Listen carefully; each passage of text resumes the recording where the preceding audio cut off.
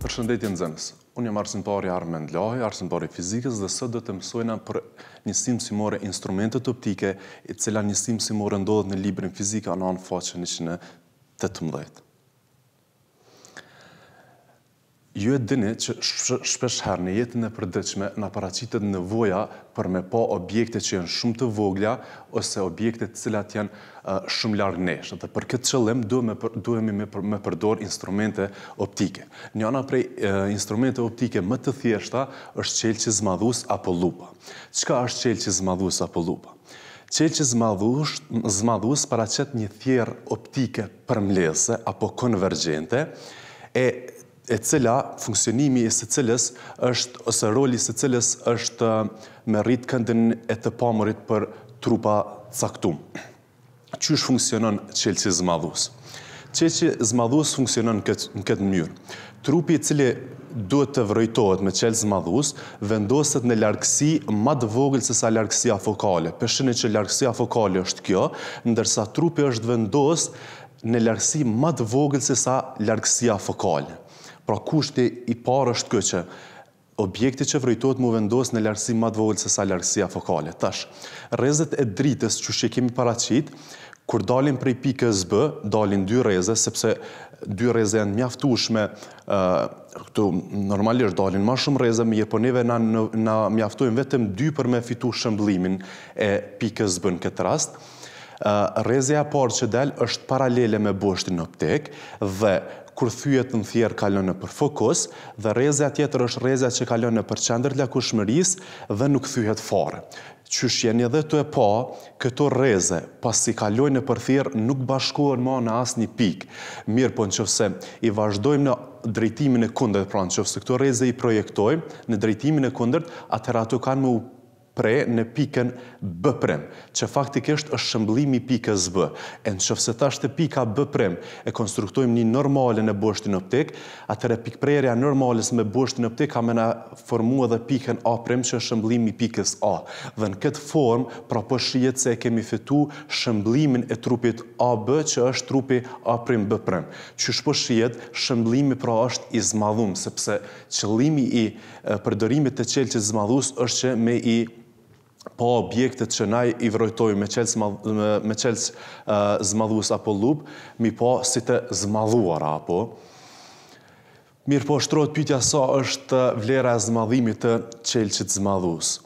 Zmadhimi te qelqi zmadhues e ka këtë vlerë, domethënë gjendet me këtë formulë, është, shënohet me zë dhe është i barabartë me dë thye për fë plus ni. Çka është dëja? Dëja e ka vlerën njëzet e pesë centimetra dhe është largësia e të pamurit të kjartë, pra është largësia në të cilën syri normal i njeriut sheh kjartë, apo, e ka vlerën njëzet e pesë centimetra.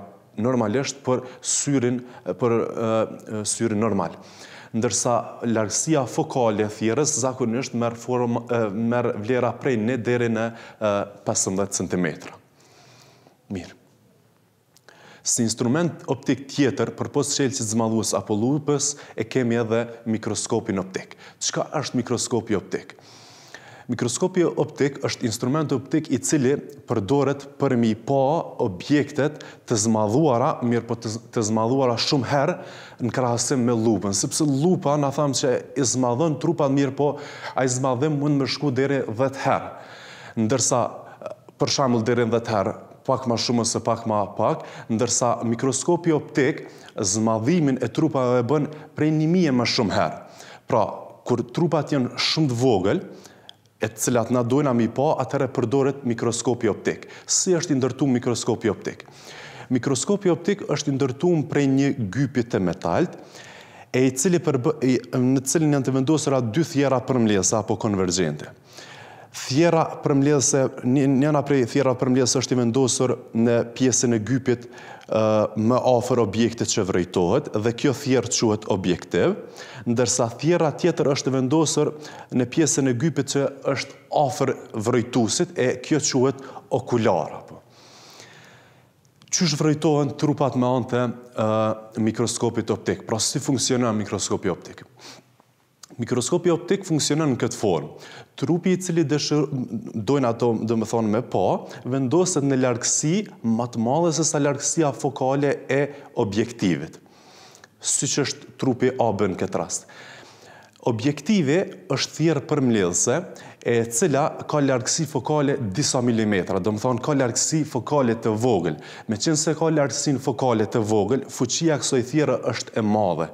Dhe, Pra kjo bën një zmadhim të madh, i cili zmadhim respektivisht shëmbëllim i objektivit bie në largësi më të vogël se sa largësia fokale e okularit.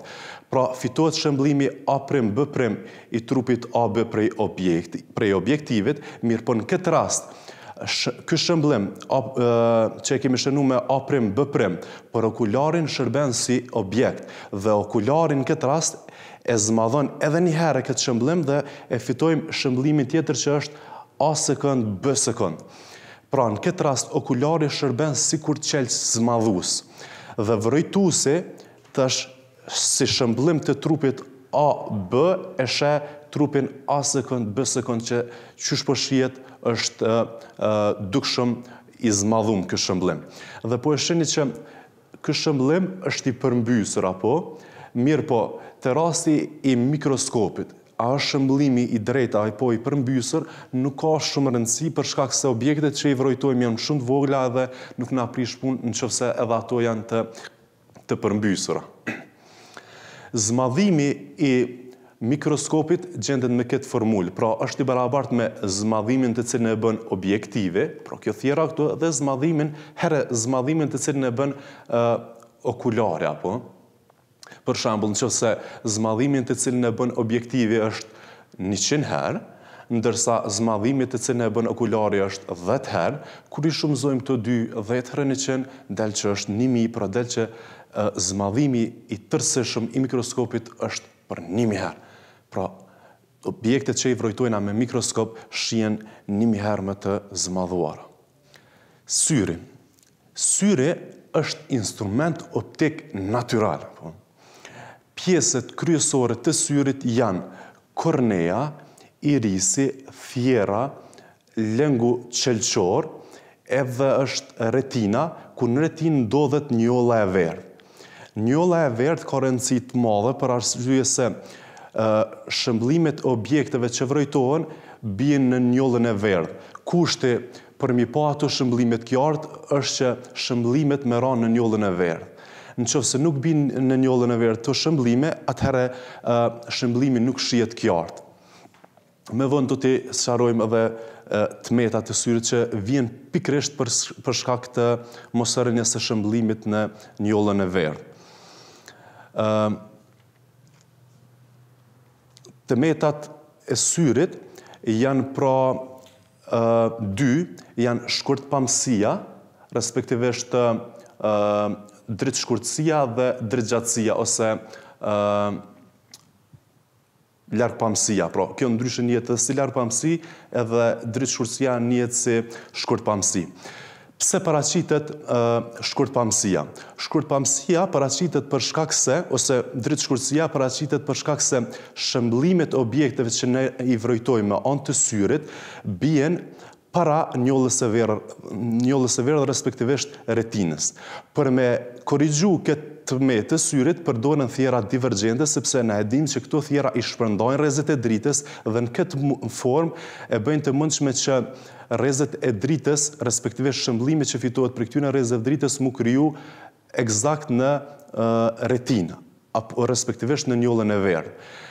Ndërsa, dritëgjatësia paraqitet kur shëmbëllimi i objekteve që na i vrojtojmë me sy paraqiten mrapa retinës, respektivisht mrapa njollës verdhë.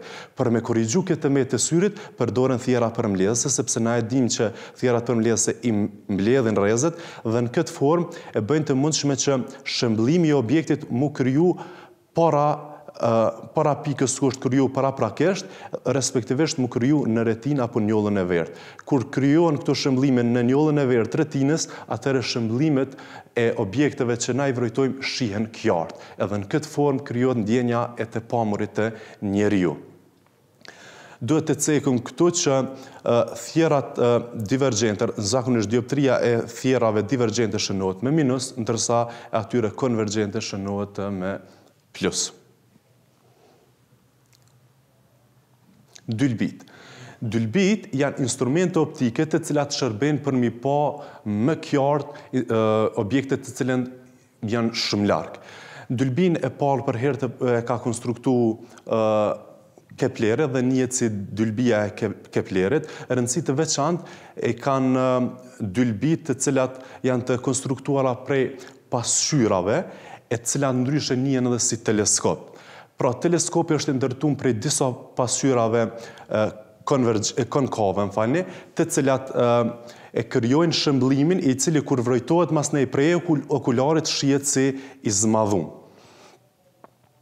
Pra kjo është mënyra qysh funksionon teleskopi, ndërsa për me pa objekte të cilat janë larg në sipërfaqe të Tokës përdoren dylbitë të cilat në fakt paraqesin një Teles, paraqesin dy teleskopa të bashkuar njëra njëri me tjetrin, ndryshe këto dylbi njihen si dylbi binokulare. Me qëllim që objektet që vrojtohen prej dylbive me qenë, shëmbëllimi domethënë që fitohet prej tyre me qenë i drejtë, mos me qenë i përmbysur, përdoren prizmat te dylbitë binokulare. Aparati fotografik. Të gjithë jeni në dijeni se çka është aparati fotografik, mirëpo ne do të dhajmë një sqarim për mënyrën qysh funksionon aparati fotografik. Respektivisht do t'i sqarojmë pjesët kryesore të aparatit fotografik. E ato janë, objektivi, i cili në fakt paraqet një sistem të thjerrave përmbledhëse, blenda, i cili paraqet një sistem të pllakave të metalta të cilat hapen ose mbyllen varësisht prej ambientit, respektiv varësisht prej dritës së ambientit ku realizohet fotografia dhe filmi i cili është një material senzitiv në të cilin bie shëmbëllimi i objekteve që fotografohen. Objektivi e luan rolin e ngjajshëm sikur thjerra te syri i njeriut, Blenda e luan rolin e bebzës, ndërsa filmi e luan rolin e retinës te syni i njeriut. Njësoj, edhe filmi edhe retina janë shumë materiale, domethënë janë shumë të ndjeshme në dritë dhe duhet me pas kujdes domethënë për intensitetin e dritës që retina respektivisht edhe filmi i nënshtrohet. Mirë, detyrë shtëpie keni detyrat faqe njëqind e njëzet e tre që janë në librin në fizika nëntë. Kjo është çka kem pas me thanë për këtë njësi mësimore. Unë ju falenderoj për vëmendjen e juaj.